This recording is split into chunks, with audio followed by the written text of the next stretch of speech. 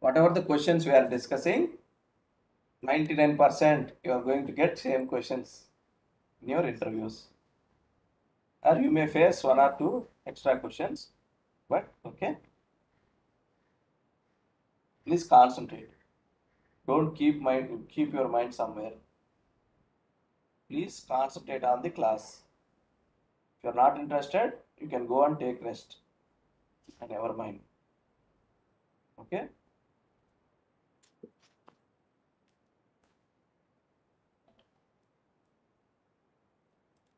Okay. This is about uh, types of tables. So what is the difference between data class and delivery class? And what is data class and delivery class? Tell me.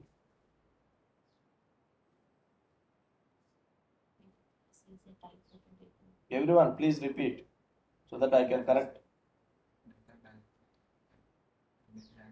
Delivery class is used to describe whether it is uh, transparent table or uh, mm, mm, no, master table.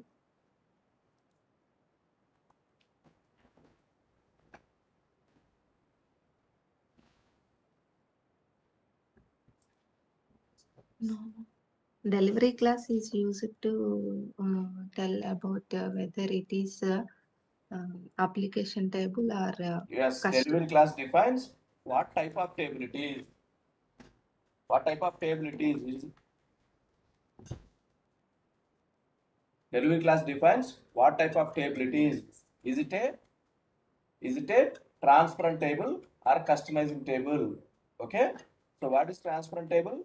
We select transparent tables for uh, master data, transaction data. Okay. Defines uh, the storage type of the table, like what type of table it is and where we are storing it in the database. Okay.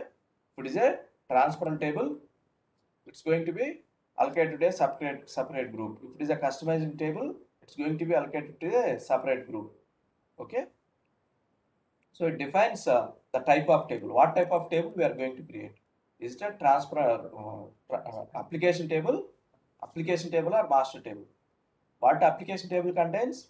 Master data and transaction data. Okay. And what is data class? Data class defines the type of data what we are going to store inside the table. Is it for a master data or is it for a transaction data?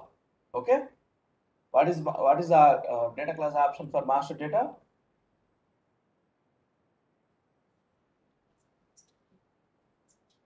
So what is the option value for uh, master data? Data class value for master data. What you have to select? APP What is the option for uh, value for uh, transaction data? APPL1. APPL1 for uh, transaction data. Okay. Then what is size category? Size category defines approximate uh, number of records the table can holds. Okay. So what if the size category limit exceeded in the production system? Do we need to change? No. So automatically allocate one more uh, extent, one more size category. If you select zero as size category, it will select one more zero limit with some uh, with some maximum records limit.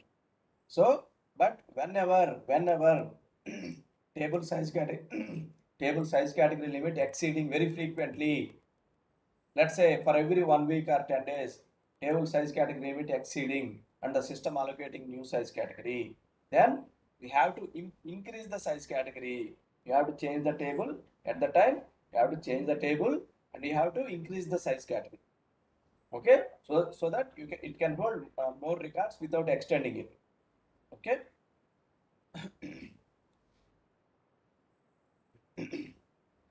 but it won't stop working even the size size uh, category limit exceeded it won't stop working it will work as it is but it will assign one more uh, extent of size category.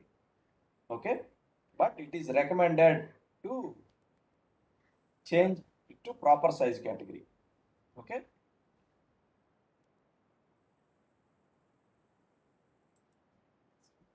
Okay. What is how can you enhance a standard table? How can you enhance a standard table So we have two two options. One is uh, include structure, include structure. and Another one is append structure. Include structure is already provided by SAP. You can just double click on the include structure and you can add your fields. That's called CI includes. That's called uh, CI includes. Dot CI includes. Okay. But append structure we can add. We can create our own append structure and we can add include structures. Using include structures, we can uh, add fields at the specified position. Using include structures, we can add uh, fields in the specified specified position. But use okay append structures are used to add fields at the end of the table. Okay, whatever the fields you are adding using append structure, you are going to see at the end of the table. Okay, those those those are going to be the last fields of the table okay? But if you are using include structure you can add at the specified position. Okay? Those two are the enhancement techniques of the standard table. Include structures and append structures. Are you noting down or?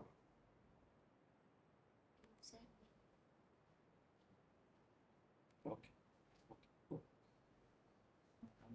Okay? So what is include structure? What is include structure Using include structure, we can add uh, fields in a You add, specified yeah. you can add you can enhance a table with custom fields at the specified location of the table okay? But uh, using append structure we can add new fields only at the end of the table okay? Those are going to be the last fields of the table okay? That is about uh, enhancing standard table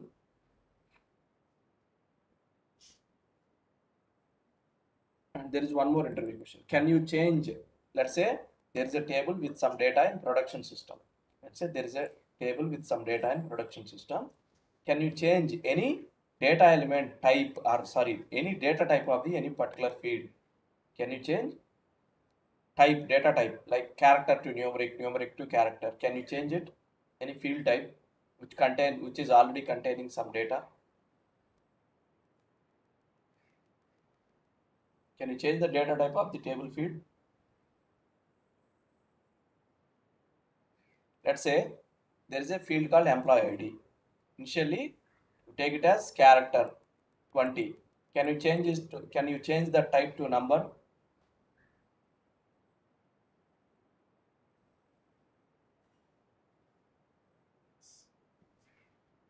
Using so we can change the data type of the existing table fields.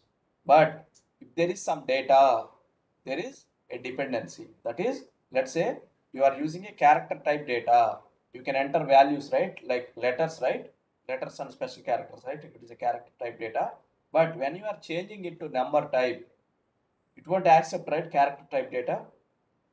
It is uh, numeric type is not going to accept character type data. Then you are going to get a type conflict since there is already data created in the table how how the data values are going to be maintained if you change the data type?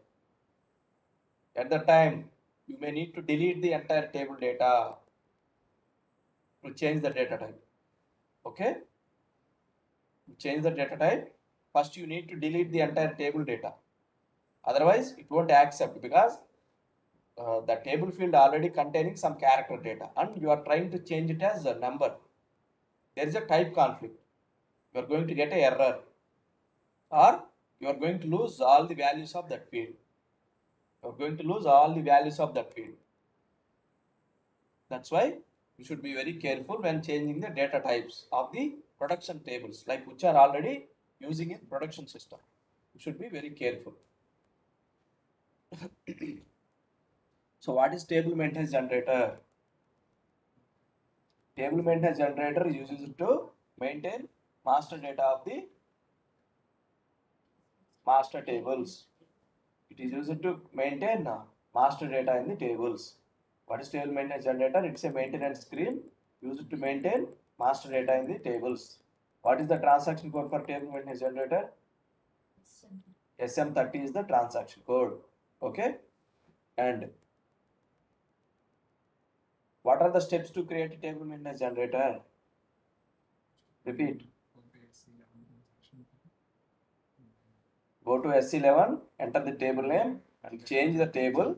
Change the table, go to utilities and in, in utilities, you have to select a table maintenance generator and there in table maintenance generator, you have to provide authorization group, function group and screen number, whether it is a single screen or two screen, one step or two step. If you select one step, one screen number is enough. You tell if you select two step, you have to provide two screen numbers. Okay, overview screen and actual screen, single screen. In two step, you will be having uh, two screens, overview screen and single screen. Okay, you have to provide two screen numbers. And there is one more option, user record routine. What is user record routine? What is user record routine in uh, table maintenance generator? Hmm. User standard recording routine. If you select that option, if you select that radio button, whenever you create some data in uh, table maintenance generator, it will ask for a transport request so that you can transport that data to test system and then to production system. Okay. They'll ask you how to how can you transport table maintenance generator data to test system or production system. Then you have to say we have to select user record routine option to create a transport request for the data. Usually we create transport request for objects like tables, data elements, domains. You want to transport data records, values in table maintenance, you have to select uh, that user record routine. Okay, so I'm stopping here.